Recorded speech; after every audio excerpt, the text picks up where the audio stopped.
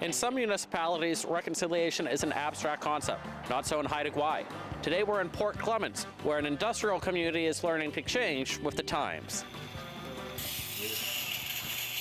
Jaalen Edenshaw was the lead carver of a legacy pole celebrating one of the first agreements with the Canadian government.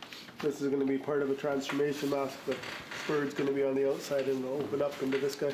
In the years since, there's been plenty of new protocols and frameworks, but he says one of the biggest changes came from the mayor of Port Clements in 2004 in a lawsuit that enshrined the need for government to meaningfully consult on resource issues.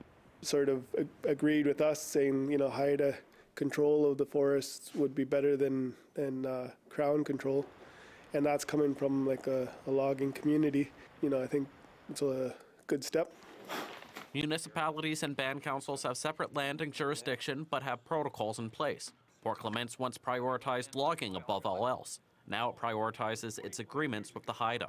It's been good as a working relationship to get onto a more formal reconciliation agreement. Doggerts Town is working on a joint tech strategy with the Haida.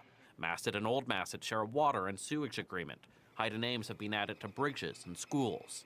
It's moving more and more, but again, it, this is just the beginning. It's just we're figuring this relationship and really what it entails. Queen Charlotte's mayor was adopted into the Haida and says even with the head start on the rest of BC, they have a long way to go. But we are just at the beginning stage. Like this is literally 15 years is nothing. Reconciliation doesn't mean everyone agrees all the time.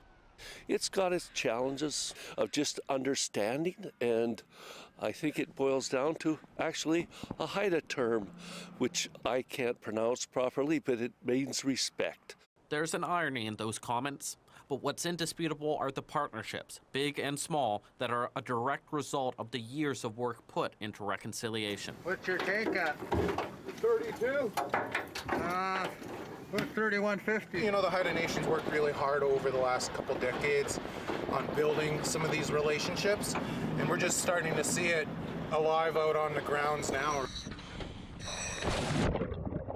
The Haida are in the midst of a project culling the sea urchin population, which flourished after sea otters were nearly hunted to extinction. That caused harm to kelp, vital to aquatic biodiversity. Now, in a partnership with Parks Canada, they're working to reverse centuries of damage. So it's just this big um, collaboration between uh, people that may not see eye to eye all the time, but people that are working together towards a common goal. And to me, that's one of the main parts of this project is trying to uh, work together and build trust. There were no sea urchins to be found on this particular dive, but sometimes the outcome on any one day is less important than the long-term process. Justin McElroy, CBC News, Haida Gwaii.